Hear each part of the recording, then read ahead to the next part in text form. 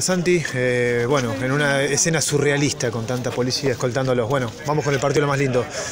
¿Cómo fue? Eh, partido trabado, se, se, abrió en el final, dificilísimo, duro. ¿Cómo, lo vi, ¿Cómo se vivió desde adentro? Sí, la verdad que fue un partido duro.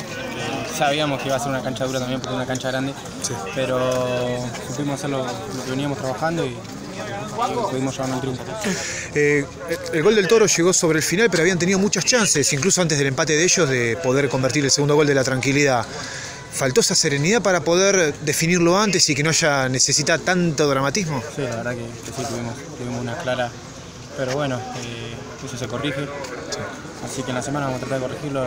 Lo bueno es que nos llevamos el triunfo. ¿Se ven, ¿Se ven bien de cara reducido? Sí, sí, obvio, obvio. Nosotros siempre vamos para adelante y, y así va a ser. Ahora toca lo más feo. ¿Qué pasó ahí terminando el partido? No, no, no, no sé, no vi nada. Yo Justo estaba atrás, estaba con mis compañeros y no, no vi. ¿Ninguno te pudo contar nada? No, no, no, no vi. Dale, gracias, Walter.